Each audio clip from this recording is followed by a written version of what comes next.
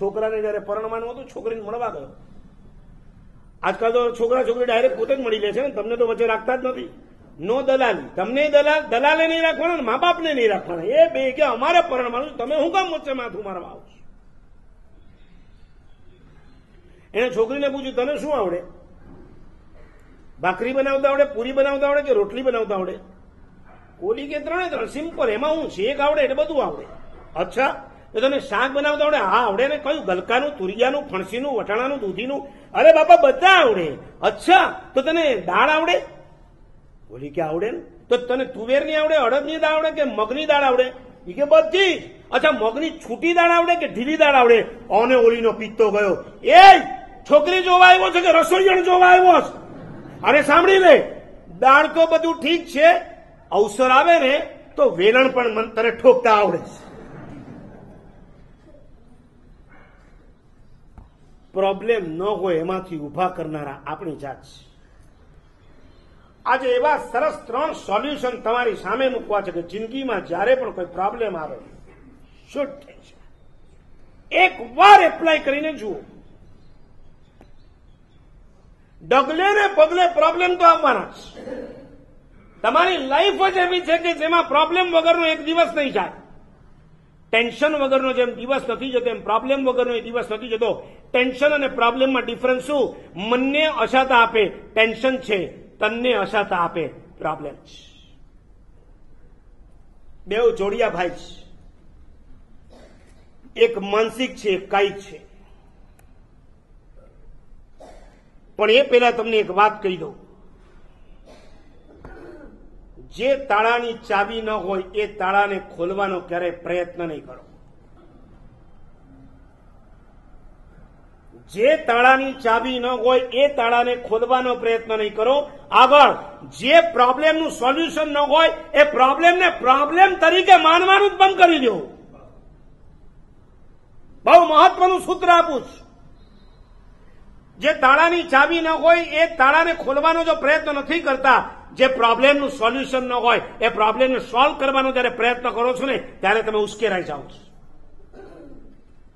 એકવીસ વર્ષના છોકરા, જવાન જો છોકરાનું મૃત્યુ થઈ ગયો વોટ ઇઝ ધ સોલ્યુશન આપો જવાબ.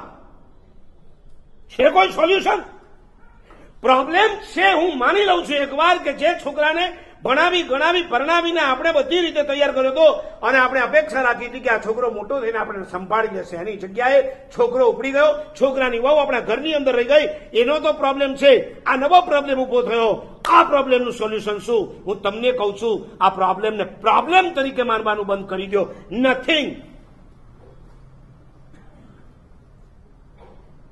બાકી દુનિયામાં જેટલા તાળા છે, એટલી ચાવી છે. જેટલા પ્રોબ્લેમ છે, એટલા સોલ્યુશન છે, જેટલી સમસ્યા છે, એટલા સમાધાન છે. કેન્સર થર્ડ સ્ટેજનું આવ્યા પછી what is the solution fourth stage સુધી પહોંચી ગયો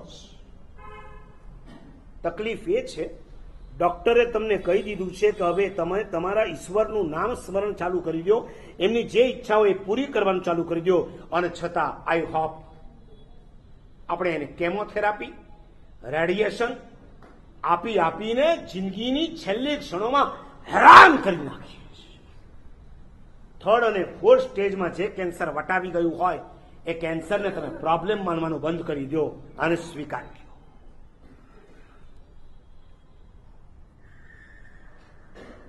સાચું બોલો, અઘરું પેપર આવે, શું કરવાનું? સ્કૂલ અને કોલેજમાં ભણતા છોકરા છોકરીને પૂછું છું કે અઘરું પેપર આવે તો શું કરવાનું? નહીં, સોલ્વ નથી થતું શું કરવાનું? ગુસ્સામાં આવીને ફાડી નાખવાનું? અઘરું પેપર આવે તો તમે ફાડી નથી નાખતા. અઘરા પેપરને પણ સોલ્વ કરવાનો પ્રયત્ન કરો છો. અને એમાંથી પણ તમે રસ્તો કાઢો છો ને, જેટલા ઇઝી ઇઝી ક્વેશ્ચન છે ને, એ પેલા લખી નાખો. અને પછી જે સમય બચશે, એમાં શાંતિથી વિચારશું. કદાચ કંઈક ક્લિક થઈ જાય. તો જેટલું આવડે એટલું લખશું. અઘરું પેપર આવે છે તો એને ફાડી નથી નાખવાનું. અઘરું પેપર આવે, એને પણ સોલ્વ કરવાનો પ્રયત્ન કરવો છે. જીવનમાં કોઈ પ્રોબ્લેમ એવો નથી કે જેનું કોઈ સોલ્યુશન ન હોય. હા, એટલું જરૂર છે. કોઈક સોલ્યુશન આજે મળે, કોઈક કાલે મળે અને કોઈક સોલ્યુશન કદાચ એક વર્ષ પછી પણ મળે. ભૂતકાળમાં એવી વાતો આવતી હતી કે તમારા બાપ, દાદા, સોનાનો ચરુ દાટીને ગયા. ભૂતકાળમાં એવી વાતો આવે.